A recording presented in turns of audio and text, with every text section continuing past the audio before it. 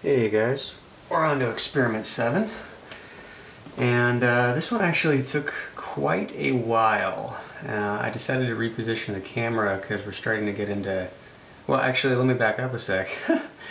so this experiment, experiment 7, is not actually supposed to be on a breadboard. However, um, I started to attempt to uh, do this experiment without one and it was an absolute nightmare trying to get the uh, alligator clips to clip on to the little legs of our relay while also holding a leg of an LED and a wire um, all in one little alligator clip. That was just a nightmare.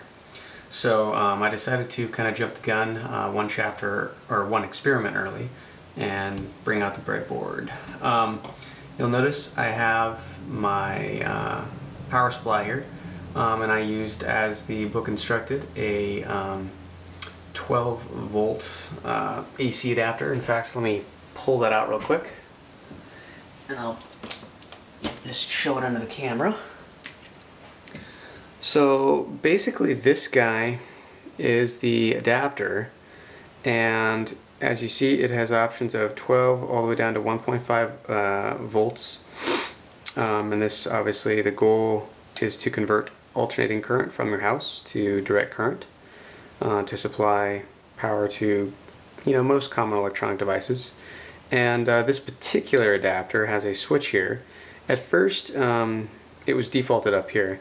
At first I thought that uh, this was like an on-off switch at the adapter. Turns out this is a polarity switch.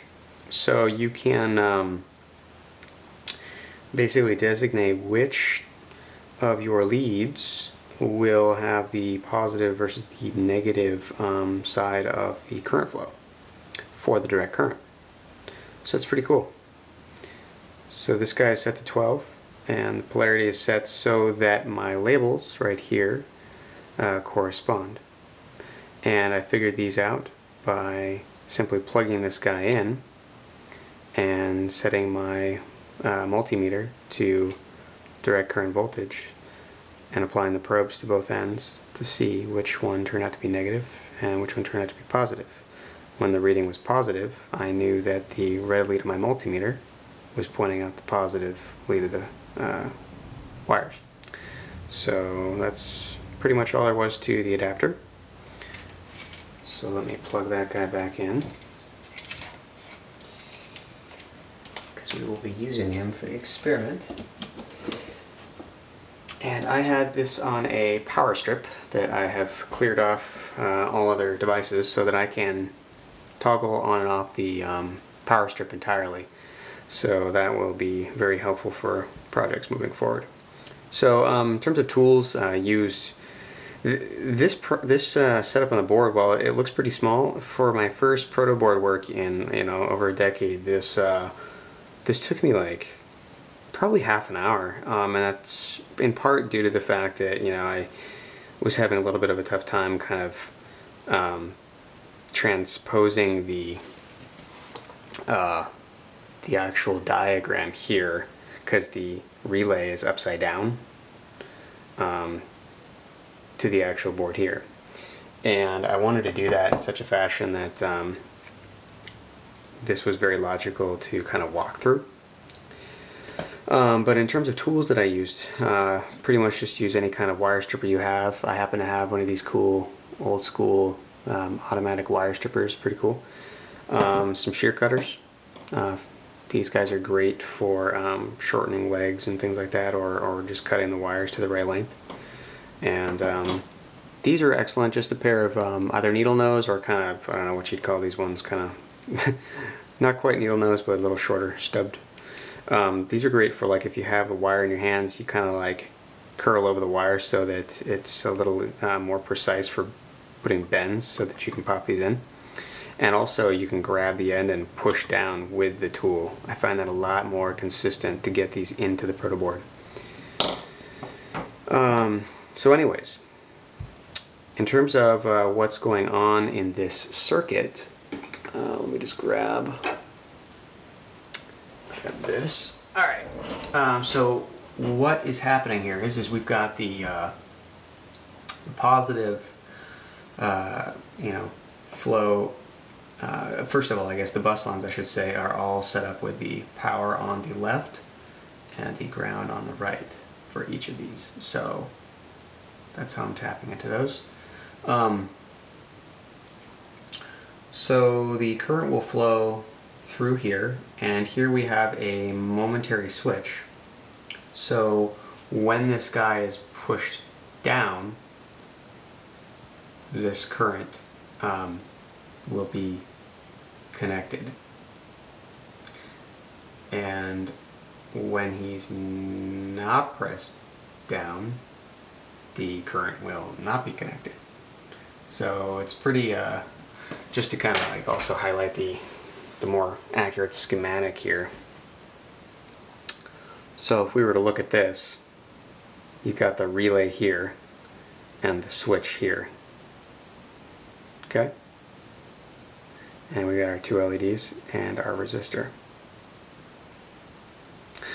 So um, what's going on here is, is when we push this button and the current flows through the switch and goes to the input pin of our relay. By the way, um, I happen to be curious if I could find the data sheet for this guy and this one was a little bit difficult. Um, I'm not sure if we are zoomed in enough here, but actually I'm curious. Let's see. How much can we zoom in? Yeah, it's probably going to be a little tough to read. I'll zoom that back out.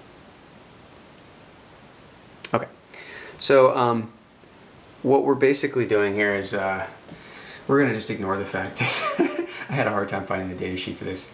Um, but the input pin is indeed here, just like the uh, book showed, except the book showed the relay upside down.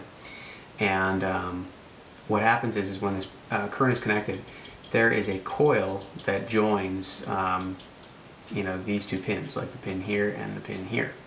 And the current flows through the coil, and that, oh, sorry about that, my dog's shaking. Um, uh, the current flows through the coil, and the uh, magnetic field around the coil um, essentially pushes a gate um, that will toggle between these lights. And this is another power supply um, for um, so, so so far to walk down this let's let's just try this one more time so I, I go like this and that um, ending right here I would view that as kind of like one isolated piece of this puzzle because when I don't press this button what's going on is really the current goes in here and out this light through the resistor and to the ground. So if I don't press a button, this light will light up because of this default circuit. It goes through here, out this light, through the resistor, and back. Okay? If I do press the button, the magnetic field around the coil changes the latch inside this relay so that now this power line which connects to this pin here and the pin just below it which connects to this LED are no longer connected and instead this power line pin and the pin above it connected to this line or this LED are will now be connected which will basically toggle us between these LEDs so when I haven't pressed anything this guy lights up, and when I have pressed one, this guy lights up. And that's the basic idea. So I will turn the power on, and we will give it a shot.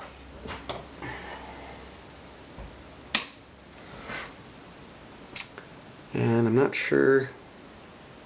I will do this when we're or when we are uh, doing toggles. That way, it's easier to see the lights. But um, so that's the idea. We have uh, this light on by default, as we just uh, thought we would. And if I were to press this, that lights on. And notice um, you probably can hear on the camera the click.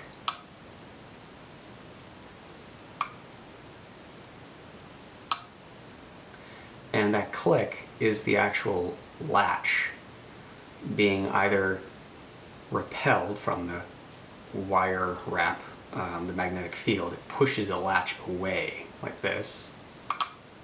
Push and if I let it go, The magnetic field turns off because the current's no longer flowing through the coil. So the latch falls back to its default state. Sounds to me based on what I'm hearing in there, if I were to like if I were to take a guess, I, I did not, by the way, I did not do what the book recommended, which was like take a razor blade and try to hack one of these in parts. Ah, I just couldn't bring myself to ruin a, a good part. But um, I did get a very accurate idea from uh, some Google uh, image searching, as well as what was in the book. So uh, I think there's probably a little spring in there too, because if you hear that, like not on the push where it shifts the latch and I push down, that's probably caused by the magnetic field alone. But when I let go, it springs back really quickly. And since there's not a coil on the opposing side, like forcing it back real quick, I'm guessing there's a spring in there that helps pull it back into place. But um, anyways, that is the default state uh, for this circuit. So we know from past experience that these LEDs should be taking roughly 2 volts, maybe 2 to 3, just depends, somewhere in that range is uh, about where they will uh, uh, accept the uh, voltage and the rest will be passed on to the rest of the rest of the circuit. Uh, well, let me rephrase that. It takes 2 to 3 volts to basically push the current through the LED, hence the voltage drop, and the rest just gets left uh, to push through the rest. So, um, given that fact, and given the fact that our power supply is uh, roughly a 12 volt uh, direct current supply, much much higher than uh, anything we've dealt with with batteries, we should have roughly uh, somewhere in the neighborhood of like 9 to 10 volts that uh, are flowing through the rest of this circuit. So like we could do a voltage check on both sides of this resistor and that should be fine because that should show us, hey, this is where the rest of the uh, rest of the voltage is getting dropped. So let's try it out. And since we know that uh, current's coming from this side, well, I'm speaking conventionally, not not uh, uh, electron flow wise, but so conventionally speaking, current is flowing from, from here to here. So if we touch here,